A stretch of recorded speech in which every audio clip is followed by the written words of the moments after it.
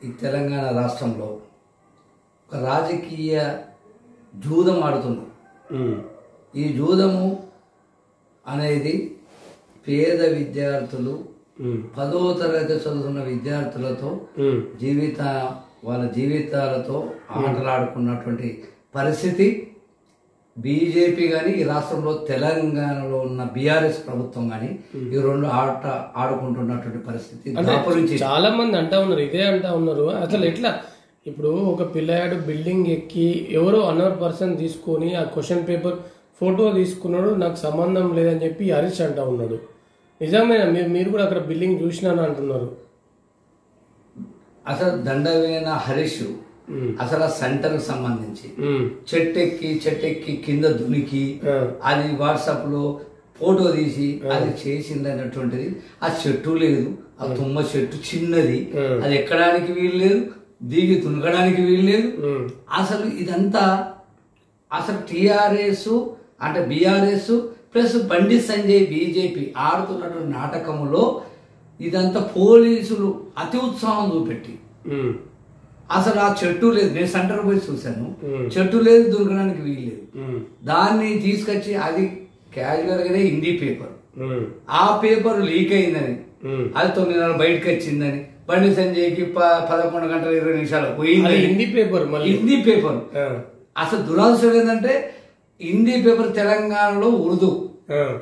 ఆంధ్రప్రదేశ్ ఉమ్మడి ఆంధ్రప్రదేశ్ అయిన తర్వాత వాళ్ళకి ఇంగ్లీష్ వచ్చు హిందీ రాదు అనేటువంటి ప్రభావంతో పద్దెనిమిది మార్కులకు ఆంధ్రప్రదేశ్ చేసిందని అప్పుడు వచ్చినటువంటి ఉద్యమంలో కూడా తెలంగాణ ఉద్యమంలో కూడా హిందీ అనేది వాళ్ళకు రాదు.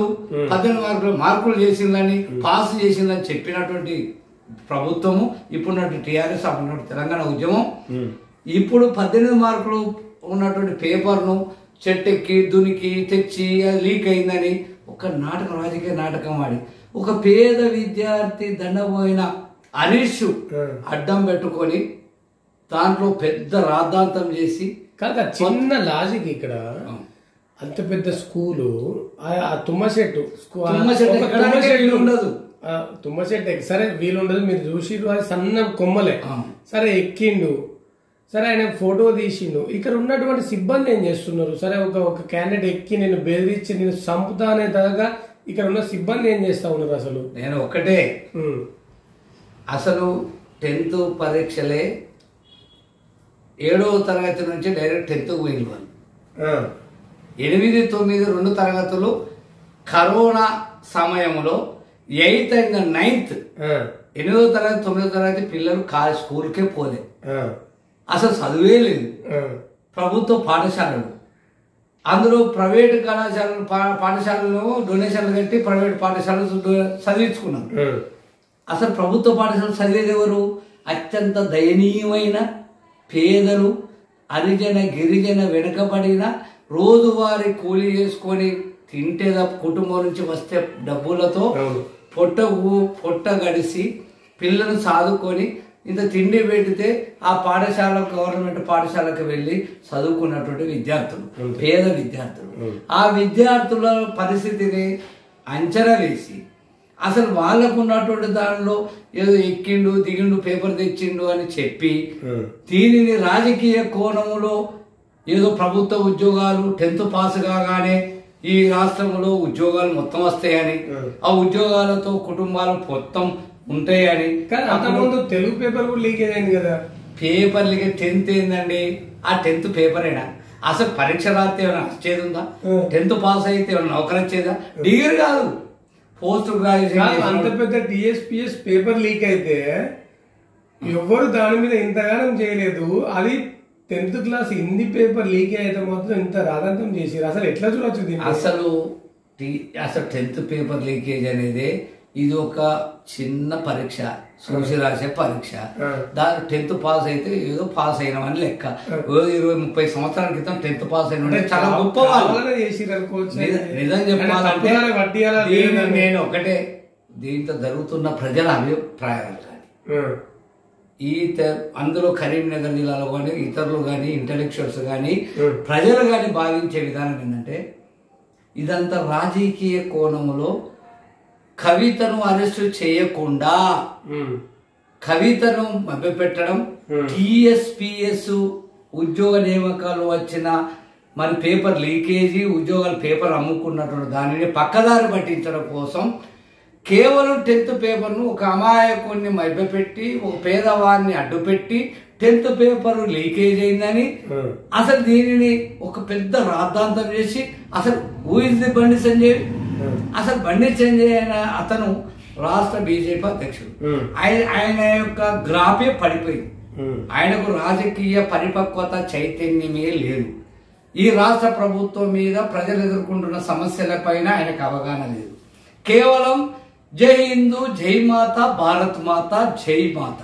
అది తప్ప రెచ్చగొట్టి ఇందులో రెచ్చగొట్టి రాచేటువంటి పరిస్థితి తప్ప అసలు కేవలం అసలు నేను భావిస్తే నేను కరీంనగర్ జిల్లాలో బండి సంజయ్ వర్సెస్ అండ్ గంగుల కమలాకర్. అసలు వీళ్ళిద్దరు కోవర్ట్. వీళ్ళతోటే బీఆర్ఎస్ టీఆర్ఎస్ అధినేత కేసీఆర్తో కోవర్ట్ ఉందని ప్రజలంతా భావిస్తున్నారు. ఇది ఒక పెద్ద బూటకం ఒక నాటకం. దీని ఫలితంగా ప్రజల యొక్క ఇక్కడ కావాలనే బండి సంజయ్ని హైలైట్ చేయడానికి కారణం అసలు. దీనిని బండి సంజయ్ కాదు.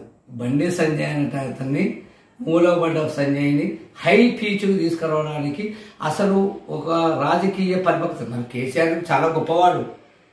మరి ప్రభుత్వం పోలీస్ యంత్రాంగం మీద ఎందుకు నిజంగా బీఆర్ఎస్ అండ్ బీజేపీ కనుక భిన్నమైనటువంటి బాగా వ్యతిరేక భావం ఉంటే ఉండి ఉంటే అసలు ఈ పండుకున్నటువంటి బండి సంజయ్ గ్రాఫ్ పడిపోయినటువంటి వ్యక్తిని ఎలాంటి న్యాయ పరంగా ఈ పెట్టినటువంటి కేసుల పరంగా. ఈ సెక్షన్ల పరంగా. అసలు అది అట్రాక్టే కావు. అసలు ఆయన ఎందుకు హైలైట్ చేశారు? ఆయన వాట్సాప్లో వస్తే ఆయన ఏం చేసిండు? ఆ వాట్సాప్తో అయ్యేది ఉన్నది. అసలు దాంతో నష్టం ఉన్నది. అసలు ఈ బీఆర్ఎస్ వాట్సాప్లు టిఆర్ మరి బీజేపీ వాట్సాప్లు వీళ్ళ మధ్య పోరాటంలో అనవసరంగా ఒక దండపోయిన హరీష్ పేద విద్యార్థి ఐదు సంవత్సరాలు డిబారు చేయడం ద్వారా అతన్ని తీవ్రమైన మనోవేదనకు ఆత్మ చాలా బాధాకరమైన కుటుంబం నష్టపోయేటువంటి ప్రమాదం ఉన్నది. దానిని గమనించినటువంటి అదృష్టవశాత్తు అన్ని సంఘాలు చేయాలి. కానీ ఎన్ఎస్సిఐ రాష్ట్ర అధ్యక్షుడు ఈ హుజురాబాద్ నియోజకవర్గానికి కాంగ్రెస్ ఇన్ఛార్జి ఉన్న బల్మూరి వెంకట గారు వారికి ప్రత్యేకంగా అభినందన చెప్పాలి. ఎందుకంటే ఇదంతా రాజకీయ ప్రాబల్యంతో వాళ్ళతో కొట్లాడిన ఒక పేద విద్యార్థి పేద విద్యార్థిని అడ్డు పెట్టుకొని చేసినటువంటి నాటకంలో అతని ఐదు సంవత్సరాలు డిమాండ్ చేయడం వల్ల పేదవాడు కుటుంబం నష్టపోతుంది. పేద విద్యార్థి చాలా మనోవేదనకు గురవుతున్నాడు. కాబట్టి దాని మీద హైకోర్టుకి ఆశ్రయించడం హైకోర్టు మరి చాలా ఒక మంచి తీరు తీర్పు చెప్పడం విద్యార్థికి మంచి అవకాశం. దానికి ప్రత్యేకమైనటువంటి బల్మూరు వెంకట గారికి అభినందనలు చెప్తా ఉన్నాను ఎందుకంటే ఇదంతా విద్యార్థి యొక్క భవిష్యత్తు గురించి ఎవరు మాట్లాడడం లేదు. ఏమైనా రాజకీయాలు నువ్వెంత నేనెంత అని మాట్లాడుకుంటున్నారు తప్ప బల్మూరు వెంకట్ గారు మాట్లాడారు. ఓకే అదంతా సంతోషం. ఓకే పర్లేదు. టెన్త్ ఎగ్జామ్ అనేది జెన్యున్గా తెలంగాణలో జెన్యున్గా జరుగుతుందా? ఒక సీనియర్ అడ్వకేట్గా సిపిఐ నాయకుడు ఏం చెప్పదలుచుకున్నారు? దురావసరం ఏంటంటే ఇప్పుడు ఉన్నటువంటి ఈ రెండు బీఆర్ఎస్ అండ్ బీజేపీ రాజకీయ ఉమ్, మరి ఒత్తిడిలో వీళ్ళ యొక్క పోరాటంలో వీళ్ళ ఆధిపత్య రాజకీయం ఆనాటి నుండి నేటి వరకు మొత్తం విద్యార్థుల పర్సంటేజీ పాస్ పర్సంటేజ్ పూర్తిగా తగ్గుతుంది. అది ఎంత ఎవరికి తగ్గుతుందంటే గ్రామాల్లో ఉన్నటువంటి హై స్కూల్స్ ఎస్సీలు బీసీలు ఎస్టీలు పేదలు రోజువారీ కూలి చేసుకొని జీవించేటువంటి కుటుంబాల నుంచి వచ్చిన పిల్లలు ఆ గ్రామాల్లో హై స్కూల్లో చదువుతున్నారు వాళ్ళు ఒక్కొక్క హై స్కూల్లో ఒకనాడు వంద వంద పది మంది ఉన్నటువంటి విద్యార్థులు ఈ రోజు పది మంది పదిహేను మంది ఇరవై మంది ముప్పై మందికి మించి ప్రభుత్వ కళా పాఠశాలలో టెన్త్ క్లాస్లో లేరు. ఆ ముప్పై మందిలో ఇరవై మందిలో ఈ దాదాపు సెవెంటీ ఫైవ్ పర్సెంటేజ్ అంటే ఇరవై మంది ముప్పై ఉంటే ఇరవై మంది ఇరవై ఉంటే పదిహేను మంది ఫెయిల్ అయ్యేటువంటి పరిస్థితి దాపురించింది. వీళ్ళిద్దరి కుట్రలో భాగంగా హరిజన గిరిజన వెనుకబడిన పేద కుటుంబాల పిల్లలు ఉమ్, ఈ రోజు అత్యంత పదో తరగతిలోనే మొత్తం డ్రాప్ అవుట్ అయి ఫెయిల్ అయి మరి కూలీలుగా పేదలుగా మరి అత్యంత దారుణంగా మరి పడిపోయేటువంటి ప్రమాదం పొంచి ఉన్నది. దీనికి నైతిక బాధ్యత భారతీయ జనతా పార్టీ రాష్ట్ర అధ్యక్షుడు బండి సంజయ్ గాని అత్యంత కీలకంగా ఈ రాష్ట్ర ముఖ్యమంత్రి నైతిక బాధ్యతను వహించాలి. వీళ్ళిద్దరూ కూడా ఈ పేద విద్యార్థులు గ్రామాల్లో ఉన్నటువంటి పేద విద్యార్థులను మొత్తం స్ట్రిక్ట్ చేశారు. ఈ రోజు గ్రామాలు పాఠశాలలో స్ట్రిక్ట్. ఒక డిఓ సిద్దిపేటకి వెళ్ళి ఒక అమ్మాయి ఎగ్జామ్ రా మొత్తం తిరుగుతారు సెంటర్ అంతా.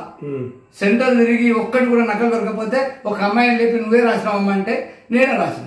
నువ్వు మళ్ళా రాయండి వైట్ పేపర్ తెచ్చి రాయమంటే రాయకపోతే ఆమె డిబార్ చేస్తారు. ఆయనకి ఎవరు ఇచ్చారు అధికారం? ఈవో వెరిఫై చేయాలి. ఏం దొరకకుండా రాయమంటే రాయకపోతే డిబార్ చేస్తావా? అమ్మాయి లైఫ్ ఏంది. కాబట్టి ఈ రకంగా ఈ ప్రభుత్వము ఒక కుట్రపూరితంగా వాళ్ళ యొక్క రాజకీయ ప్రాబల్యం కోసం కేవలం డ్రామా అనుకోవచ్చు? ఇది అంత డ్రామా. పేద విద్యార్థులతో గ్రామీణ ప్రాంత హరిజన గిరిజన వెనుకబడిన కూలి చేసుకొని బతుకుతున్న కుటుంబాల నుంచి వచ్చే పిల్లల భవిష్యత్ తోటి ఆడుతున్న నాటకం. అనేక మంది ఈరోజు దాదాపు ప్రభుత్వ పాఠశాలలో ఎక్కడికెక్కడ ప్రతి సెంటర్లో కస్టోడియంను స్కాడును పెట్టి పేద విద్యార్థులు ఒక హై స్కూల్ గవర్నమెంట్ స్కూల్ నుంచి ఇంకో ప్రైవేట్ స్కూల్లో వేసినప్పుడు ప్రైవేట్ స్కూల్లో వేసినటువంటి వాళ్ళను స్కాడు పోయి చెక్ చేయడం ద్వారా ప్రభుత్వ పాఠశాలలో ఉత్తీర్ణత శాతం పూర్తిగా పడిపోతుంది. ఇది పేద ప్రజలు పేద విద్యార్థులకు నష్టం జరుగుతుంది. ఈ నష్టం ఈ పేద ప్రజ విద్యార్థుల యొక్క బాధ కష్టం కన్నీరు బా మరి గాథ ఈ ప్రభుత్వ పాలకులు గమనించాలి. రెండు సంవత్సరాలుగా కోవిడ్ బారిన పడి ఏడో తరగతి తర్వాత ఎనిమిదో తరగతి ఎయిత్ లేదు నైన్త్ లేదు. ఈ సంవత్సరమే టెన్త్కి వెళ్ళారు అత్యంత దారుణంగా పేద ప్రజలతో జీవితాలతో చెరగటం ఆడకూడదు. ఈ విద్యార్థుల యొక్క భవిష్యత్తు రేపు వీళ్ళ విద్యార్థులు ఫెయిల్ అయితే పట్ట గ్రామీణ ప్రాంతాల్లో హరిజన గిరిజన వే- పేద విద్యార్థుల యొక్క పిల్లలు కనుక ఫెయిల్ అయితే అనేక మంది మరి సూసైడ్ చేసుకునేటువంటి ప్రమాదం కూడా పొంచి ఉన్నది. కాబట్టి ప్రభుత్వమే ఆత్మస్థైర్యం కల్పించి పేద విద్యార్థులకు అన్ని రకాల సహాయ సహకారాలు అందించి ఏదో ఉద్యోగాలు కాదు. ఉద్యోగాలు ఇవ్వడంలో ఏదో స్ట్రిక్ట్ పేపర్ లీకేజ్ అయింది కానీ పదో తరగతి అంటే చూసి రాస్తారు ఏదో చెప్పుకుంటారు. అందులో ఏమున్నదన్న పదో తరగతి అనగానే పదో తరగతి ఒక ఏం చెప్పినా ప్రతి స్కూల్లో ప్రతి సెంటర్లో ఆబ్జెక్ట్ టైప్ ఉంటుంది. అంత అయిపోయినాక ఇరవై నిమిషాల్లో ఆబ్జెక్ట్ టైప్ పటాపట్ టీచర్ చెప్తారు. వాళ్ళే చెప్తారు. ఆ చెప్పేదాన్ని కూడా లేకుండా ఇప్పుడు చేయడం ద్వారా విద్యార్థులు పాస్ అయ్యేటువంటి ప్రమా లేదు. ఫెయిల్ అయ్యేటువంటి ప్రమాదం ఉన్నది. ఇది పేద విద్యార్థులతో జీవితాలతో చెరగటమాడుతున్నది ఈ ప్రభుత్వము. ఈ ప్రభుత్వము అదేవిధంగా బీజేపీ. ప్రధానంగా బీజేపీ అండ్ టిఆర్ఎస్ కోవర్ట్గా పనిచేసే ఒక హైలైట్ పీచ్ ఒక తీసుకొస్తున్నారు.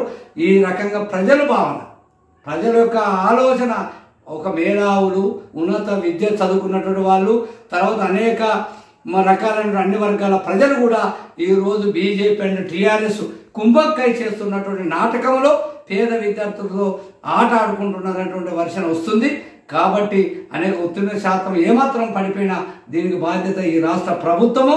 మరి బీజేపీ బండి సంజయ్ రాష్ట్ర అధ్యక్షుడు వహించాల్సిన అవసరం ఉంది. అక్రమంగా అన్యాయంగా. అసలు ఆ కేసు ఏంది? చట్టం ఏంది? ఆ సంజయ్ మీద కేసులు ఏంది? బెయిల్ ఏంది? అసలు ఇదంతా ఒక నాటకం అనే అటువంటి అభిప్రాయంతో ప్రజలు ఉన్నారు దీన్ని అందరూ గమనిస్తున్నారు. ప్రజలందరూ ఆలోచించాలి. నేను మీ అందరికి ప్రజలందరికీ విజ్ఞప్తి చేస్తున్నా. పేద ప్రజలు మీరందరూ కూడా ఏదో విద్యార్థులు ఫెయిల్ అవుతారా? ఉత్తీర్ణత అయితే ఏమవుతుంది? మీరు ఏమి ఆధారపడద్దు మళ్ళీ మరి ఇన్స్టెంటుగా మరి స- ఆ అడ్వాన్స్ ఎగ్జామ్ ఉంటుంది. టెన్త్ అడ్వాన్స్ ఎగ్జామ్ ఉన్నప్పుడు మన పిల్లలను ధైర్యంగా చదువుకునే విధంగా చేసి పరీక్షలు రాయించడం ద్వారా మళ్ళీ వాళ్ళకి ఏ మాత్రం కూడా సంవత్సరం వృధా కాకుండా ఇంటర్మీడియట్లో పోవడానికి అవకాశం ఉంటుంది. ఇది పోయినంత మాత్రాన ఫెయిల్ అయినంత మాత్రాన ఉద్యోగం రాదు. లేదు మా జీవితాలు పోయినాయి అయినటువంటి పిల్లలను మరి అను భావించకుండా పిల్లలకు మనోధైర్యం కల్పించాలి. అదేవిధంగా ఈ పాలకులు అధికారం కోసం చేస్తున్న కుట్రలో భాగంగా ఈ రాజకీయ మరి గేమ్ ఆడుతున్నటువంటి రాజకీయ పార్టీల ఎడల మన అప్రమత్తంగా ప్రజలు ఆలోచించి గమనించి ఆ మరి వాళ్ళకు ఎడల మన సరైనటువంటి అవగాహనతో ముందుకు వెళ్ళాల్సినటువంటి అవసరం ఉందని చెప్పి విజ్ఞప్తిస్తున్నాం